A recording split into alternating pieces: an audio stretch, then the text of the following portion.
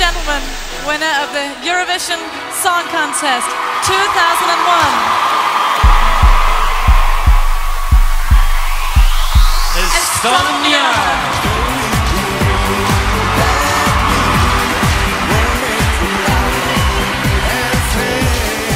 Oh, oh, ma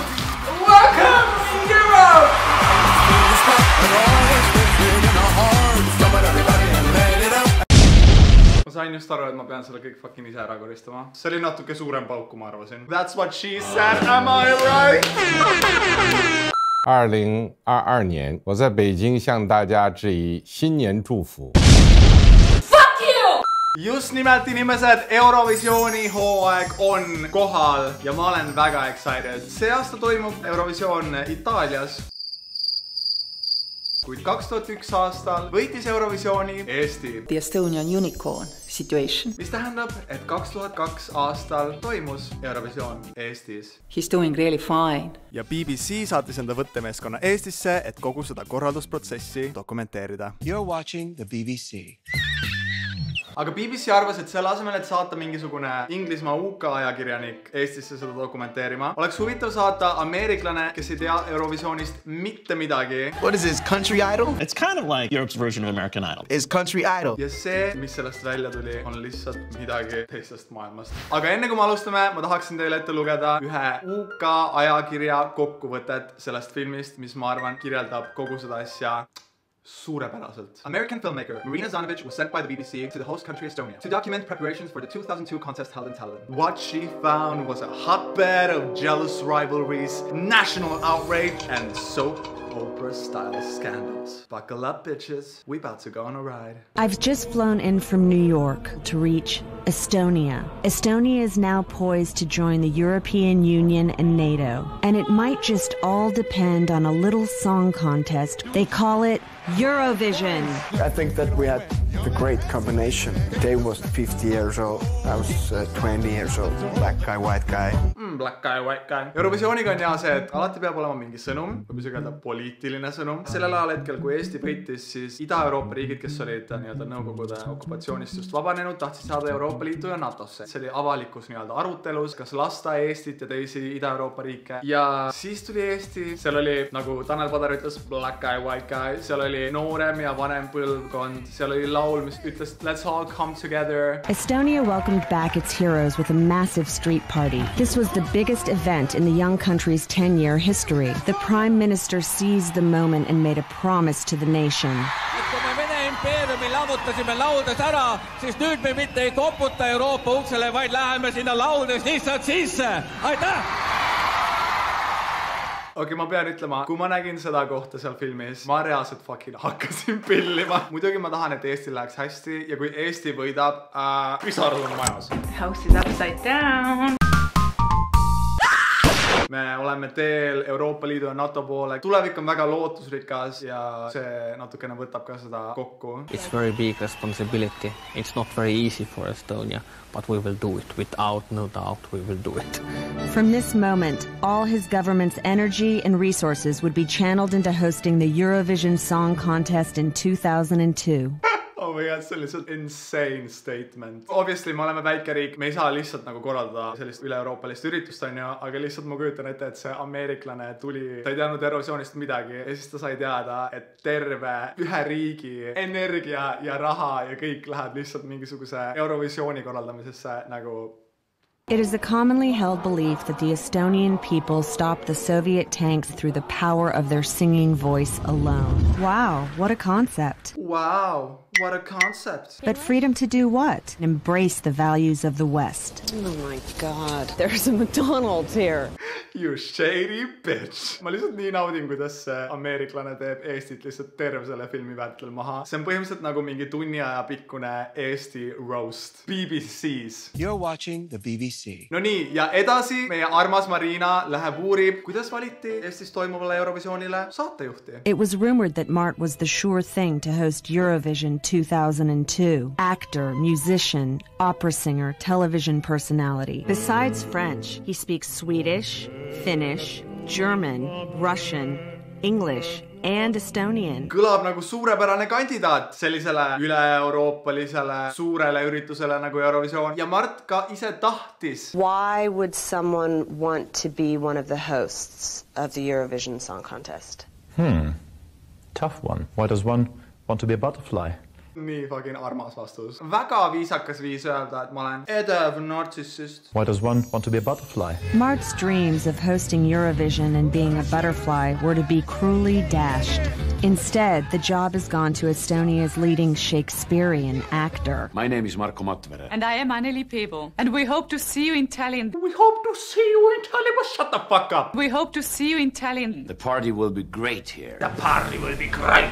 Bring out the rum. This is the Pirates of the Caribbean of the Estonian style. The party will be great here. just nimelt, selle asemel, et lasta Mart Sandril saada liblikaks, tuli mingi kuradi piraat ja varastas talt selle unistuse. mis riigis me elame? The party will be great here. Marko knows. Marko, heteropropaganda! You will present the show? Yes, we will present the show, yes. We step on the stage, watching the camera, say, hello Europe. It's uh, the Eurovision Song Contest here you're watching. And we are that, and uh, my name is that, and you, you, she's name is that, and so on. And now we, we are all very happy and. Uh, we step on stage, we're watching camera, and we say, "Hello, Europe. This is Eurovision Song Contest you're watching." Arr! Yes, we will present this show, yes. What an odd choice. This guy could barely speak English. jälle see tädi enda kommentaaridega, I fucking love her. aga nagu tõesti, ta fucking ei oska isegi inglise keelt. I'd been told Marco Matvera had the face of an authentic Estonian peasant. Could this be the reason he'd been chosen over Mart Sonder? What was wrong with Mart? I asked Mart to go online and tell me what people were saying. Well, this is the most despicable, awful, dirty gossip site. okei okay,, mu lemmik, et äh, delfi.ee on the most despicable, awful gossip site in Estonia. What do they normally write about you? Uh, but I'm engaged in sexual intercourses with my dog. I used to have a good-looking dog, yes. People have said to us that part of the reason that you didn't get the hosting job is because of the questions about your sexuality. I don't know. And I I, know. can we just talk about the sexuality thing? Do you want to do you want to be outed on BBC? It's not interesting to me, but it seems to play a part, and I'm If you pay enough, I can say whatever I want. I can admit to the dog thing. I can I'm- show it. Jep, te saate õigesti aru. ma ei ütle, et see on fakt, nii et te võite oma hagid endale jätta, aga vähemalt see filmitegija vihjab sellele, et üks suurtest põhjustest, miks Mart ei saanud seda töökohta, on küsimused ümber tema seksuaalsuse. And how's that for embracing the values of the West? To try to get some insight, I looked up Estonia's most eminent psychiatrist. Shit. Oh, it, it, it automatically, it automatically changed uh, his psychological problem because he is unstable. So we who decide, they took a decision, they took more stable.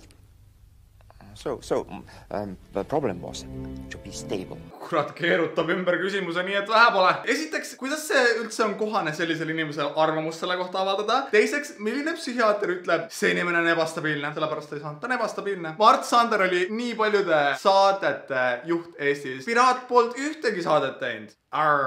He's doing really fine.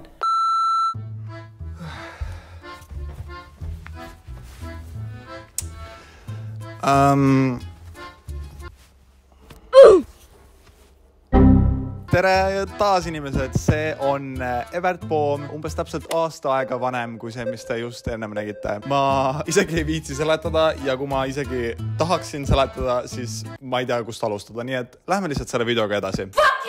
Igal juhul edasi siin filmis Marina läheb uurib, kuidas Tanelil ja Dave Bentonil peale suurt Eurovisiooni võitu läheb. peale Taneli ja Dave'i suurt ja uhket Eurovisiooni võitu läksid nad suht kohe väga suurde tülli kollikuna. draama oli majas, on vähe öeldud ja neile oli isegi laua peal valmis lepingule juba valmis alla kirjut-, leping oli laual, pange lihtsalt allkiri, eks ole. see on fucking leping. It's no record deal because the band broke up. They were ready to do a major international release on the thing. It was the most underutilized song in the history of the Eurovision Song Contest. suur draama oli majas, suusad olid ristis, kallikene ja royaalselt. nii et ühtegi allkirja sinna lepingule ei saadud, plaadileping jäi ära ja kuna jutud liikusid üle linna, et äh, Dave Bentoni ja Tanel Padari suusad risti olukorra põhjustajateks olid nende manager'id, mu mänedžer on väga-väga närvis. siis Marinakene, meie BBC Ameerika žurnalist, läks uurima, et milles on asi. So we're going to see Tanel Patter's manager because everyone seems to think that he is the main problem. ega ta väga midagi ei öelnud,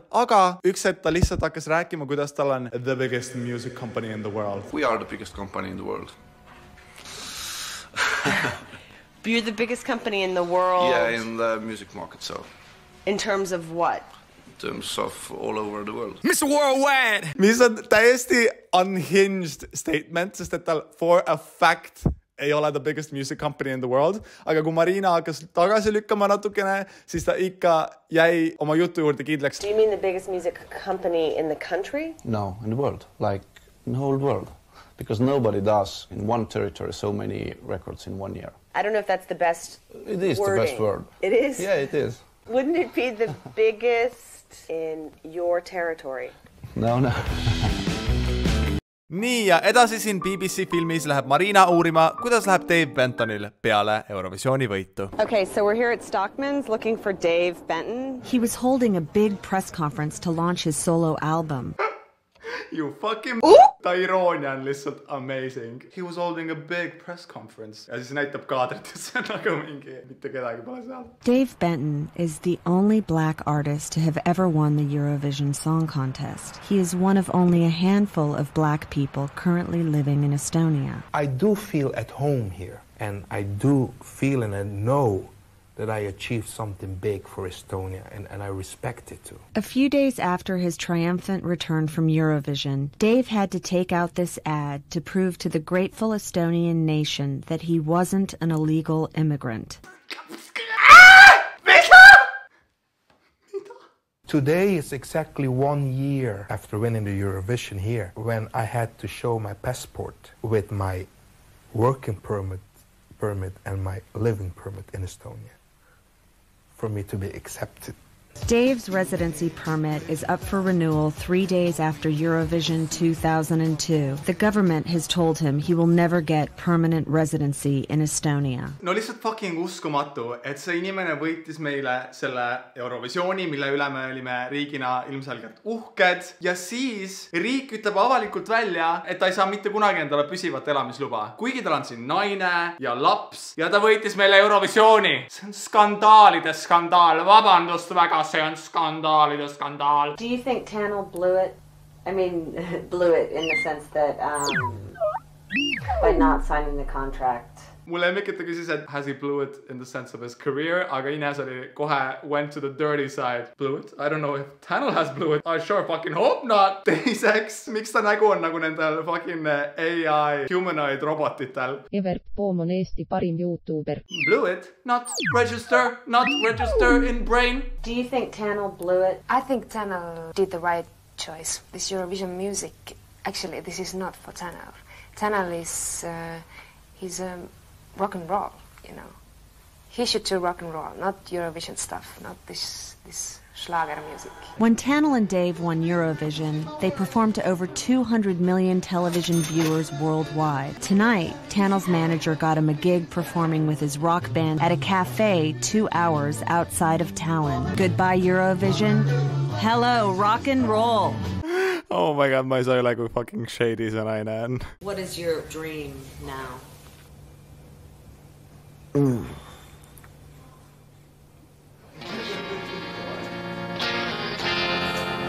Right now, I'm in love. Ines and Tanel are the Brad and Jennifer of Estonia. They fell in love while competing at Eurovision 2000. And you know, we had the cowboy hat before Madonna. That's very important, very important. Nii ja edasi seal filmis meie armas Marina läheb linnahalli, kus toimub kaks tuhat kaks aasta Eesti Laul ja see, mis seal kulisside taga toimuma hakkab.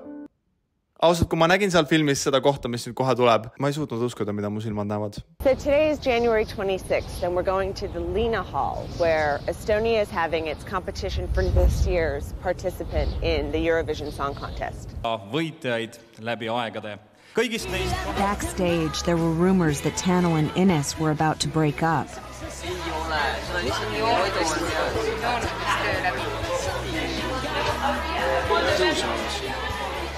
praegu võtsin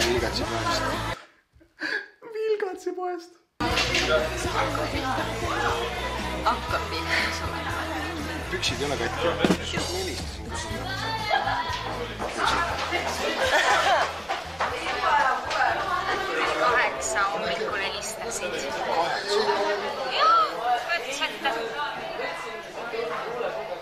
Koju jõudsin?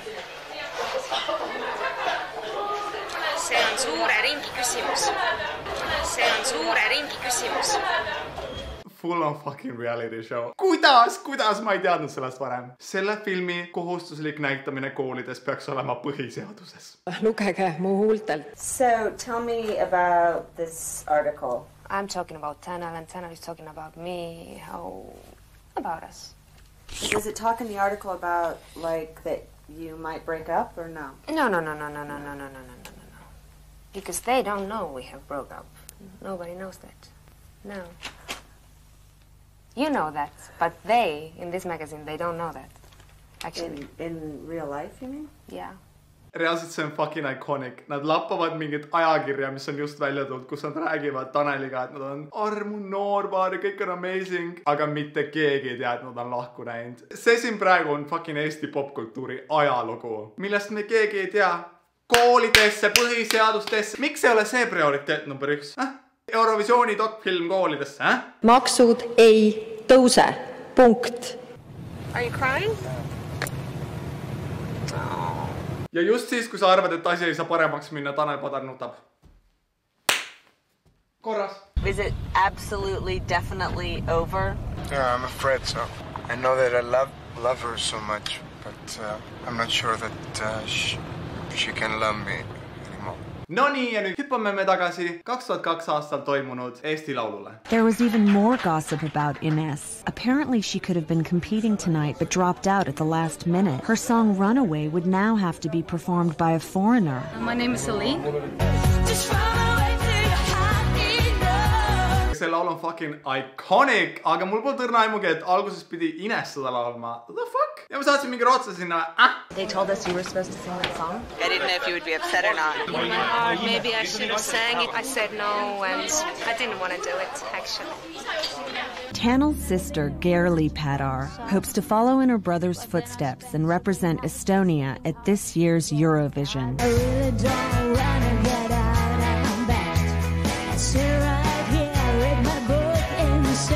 Oh my god, the judges are about to announce who will represent Estonia at Eurovision 2002. laul number üheksa, Runaway. Runaway, kaksteist punkti. ja laul number üheksa praegu juhi. Runaway sai täisarvu punkte ka siit üheksas laul, see tähendab seda, et hea publik, te teate, kes on eurolaul kaks tuhat kaks võitja. oh my god, see fucking nägu. see on inimese nägu, kes on valmis minema sõtta.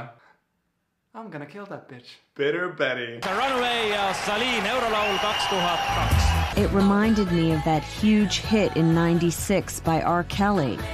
I Believe I Can Fly.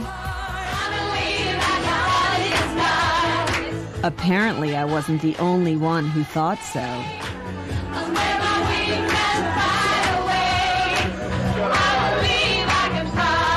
Okei okay,, tõepoolest, see laul on väga sarnane sellele R Kelly laulule I believe I can fly. ja tuleb välja, et see oli ka suur skandaal ja sellest räägiti meedias igal pool. need on väga sarnased laulud, aga lihtsalt see, kuidas Kerli reageerib ja no shame whatsoever, lihtsalt samal ajal, kui Salin laulab oma võidulugu, Kerli backstage'is laulab üle fucking backstage'i You cannot make this up. kes oleks arvanud, et Kerli on selline messy, messy, messy queen. I absolutely love it.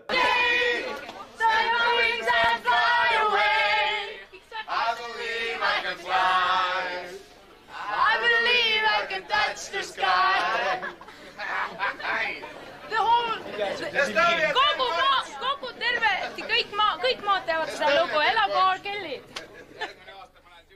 ta läks veel ürituselt ära ja veel seal väljas kõigi ees kõvasti, et kõik ikka kuuleks, laulab veel seda laulu edasi. nagu ma lihtsalt tahaks teada, mis andis kõikidele nendele inimestele sellise julguse olla nii, nii vaba nende kaamerate ees, nagu mida see Kerli tegi?